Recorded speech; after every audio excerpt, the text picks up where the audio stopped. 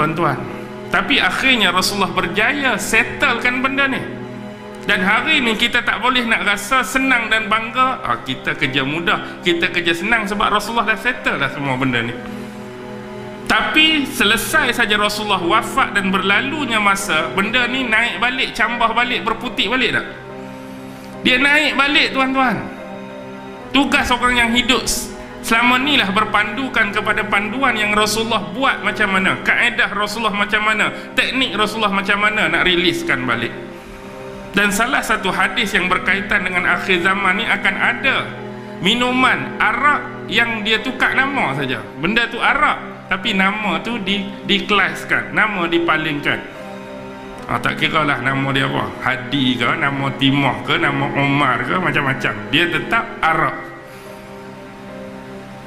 dan di sebalik penciptaan benda-benda tu mungkin tersirat sesuatu kepada yang buat tu. Sama ada dia nak menyindir ke dia nak menghina ke dia nak mengaibkan ke itu dia punya hal lah. Tujuan dia dengan Tuhan. Apa pun ada satu hadis menceritakan tentang minuman khamar ni. Yang mana di akhir zaman benda tu akan ditukar nama. Tukar nama macam mana pun arak tetap arak. Hukum haram tetap haram Kalaulah nama arak tu suci sekalipun Suci lagi halal Nama dia. Boleh minum ke tak? Tak boleh minum. Sebab dia diharamkan dalam agama Bukan atas dasar nama Nama tu satu hal Tapi benda tu tidak mencerminkan pada nama. Sekiranya dia halal Nama apapun dia tetap halal. Macam orang kata Nasi ganja. Oh, Bunyi ganja ni haram nak makan ni. Hmm, Hampa duk pulun dua tiga pinggang juga. Bukan atas nama tu tapi bila mari arak nama Umar ke nama Timah ke tak boleh lah. Macam-macam berlaku.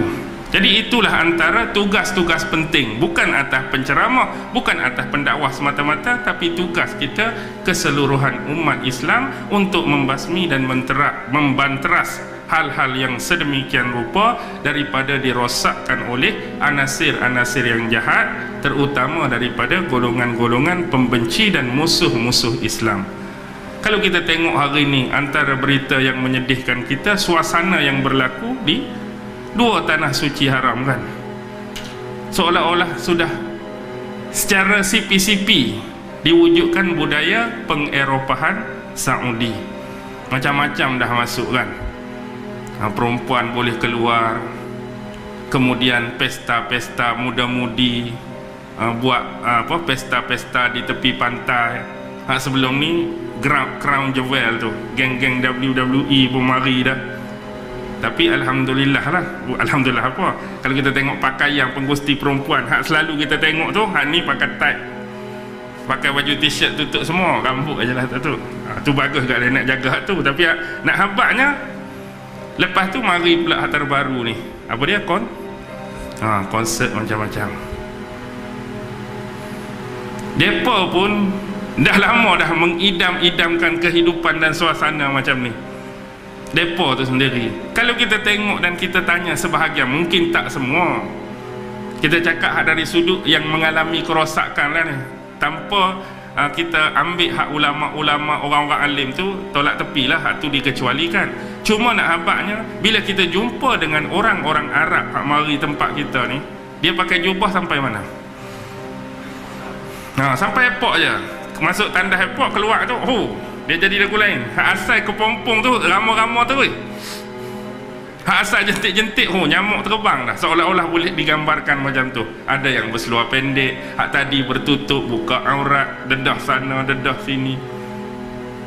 Lepas tu hak jadi balik bila? Ha, nak masuk airport tu lah nak masuk kapal terbang balik. Bukan semua kita kata ni. Wujudnya golongan-golongan sedemikian yang nakkan kehidupan yang tak ada mereka boleh kecapi di bumi mereka. Jadi mereka cari benda tu mereka dedahkan benda tu bila mereka berada di luar. Jadi bila buka benda tu hmm, tak ada apa